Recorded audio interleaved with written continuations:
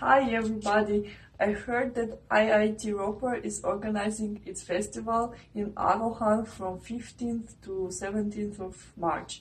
Make sure to come to participate and to have a great time together. Bye!